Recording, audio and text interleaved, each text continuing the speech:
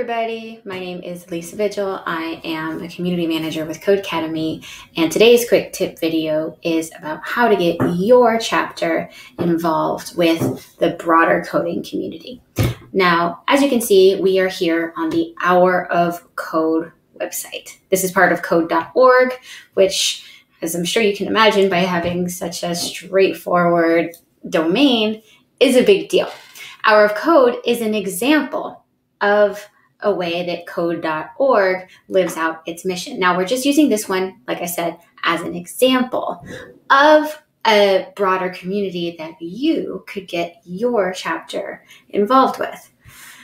Now, why would you do such a thing?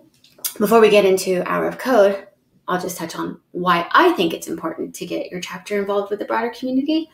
Exposure, learning experience, promoting your chapter um, just three quick reasons, but also um, there's so much going on. There's so much to learn from in the world. I mean, check this out that it's just a fun thing to do at the end of the day. So, exposure, promotion, learning from others, and it's just a fun thing to do. So here we are, hourofcode.com slash US. Of course, you don't need to be in the US. It's just where I'm located. Step one, check out the how to tab on the Hour of Code website. So again, you can just be at home on hourofcode.com slash your country code and then click on how to.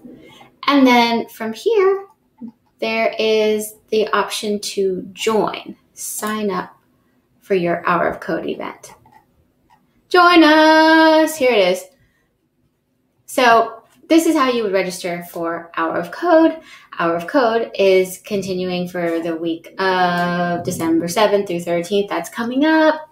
This is not evergreen content, but it happens every year. So, should you be in a year where Hour of Code is happening, you can always come to this page.